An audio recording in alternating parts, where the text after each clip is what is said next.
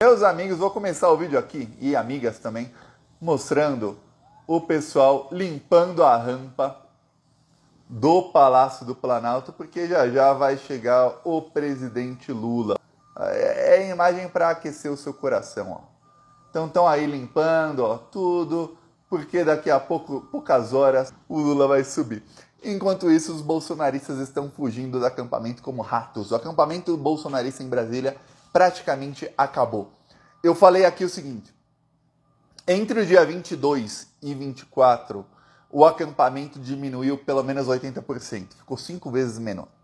Então só sobrou ali a nata do fascismo brasileiro. Ou seja, eu não sei nata, porque geralmente quando usam, a expressão a nata é uma coisa boa, né? Então, sobrou ali o lixo tóxico do fascismo brasileiro, estava ali em frente ao acampamento de Brasília.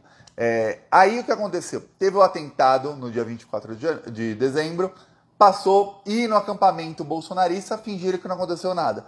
Passados dois, três dias, o que aconteceu? Surgiram boatos ali em Brasília, no acampamento e nos arredores, de que todo mundo será preso, de que eles todos serão presos por terrorismo. Então, o que acontece? Primeiro, as pessoas que não são inocentes, ou seja, os bandidos e terroristas, começaram a fugir. Se você avisa um bandido, imagina um bandido, você que está assistindo não deve ser bandido, mas imagina você chega para um bandido e fala assim: olha, nós sabemos onde você está e nós vamos te pegar. O cara foge. Agora imagina quem não é bandido, gente manipulada pelo Bolsonaro e está lá no acampamento pacificamente, que tem gente que é fascista, que é racista, que é o lixo do lixo do lixo, mas que é pacífico. Que são muitas das pessoas que estão em acampamentos bolsonaristas, é gente pacífica, viu? Saiba disso, a gente manipulado e tudo mais, fascista. Minha opinião aqui, Thiago, criminoso da pior espécie. Mas não é gente que vai pegar em arma e matar e morrer, só tá ali. Agora imagina esse pessoal falando, pô, peraí, vão prender gente por terrorismo e é aqui no lugar onde eu tô.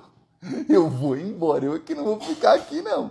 Então, gente, até que gente de outros estados começou a ir embora de Brasília depois do dia 26. 26 principalmente. Dia 26 foi divisor de águas. Foi quando disseram, opa, agora ferrou. Por quê? Porque teve uma movimentação importante do Flávio Dino e do ministro da Defesa do Lula com os militares e aí decidiu-se que mudariam o chefe do exército. E esse chefe do exército vai entrar para desmontar o acampamento. Então o pessoal já começou a zarpar antes. Eu vou te mostrar aqui fotos do acampamento como tá. E assim, hoje, fotos, fotos de hoje.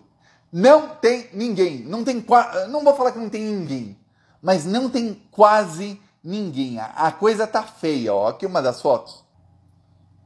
Você vê alguma coisa aqui nessa foto? É, não tem nada, exato. É isso, ó. Não tem nada, sobrou só lixo. E nos grupos bolsonaristas, o pessoal é extremamente irritado com Bolsonaro. Ó, vou mostrar mais duas fotos. Ó, uma aqui o fascista numa, numa das poucas barracas. Pois bem, outra barraquinha aqui. Mas você vê, ó, uma barraca, outra barraca, num lugar que tinha mais de 100 barracas.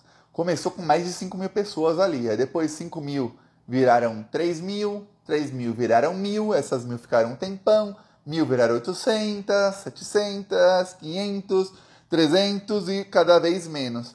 E aí, pausa aí para ler, mas eu vou ler aqui para você. Ó.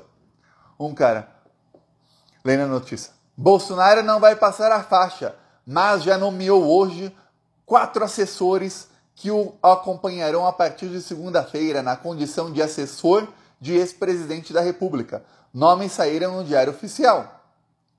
Aí, milhares de bolsonaristas reagindo. Alguns assim, outros, e aí que é o engraçado, com cara de palhaço, gente chorando, gente assim, gente com olhinho, gente com lixo. Aí quando você vê, você vê que metade tá fazendo assim e metade com cara de palhaço ou choro. Ou seja, o pessoal tá aceitando. Aí um, perdemos manés. Aí outro, falei que não ia acontecer nada, maior vergonha da história.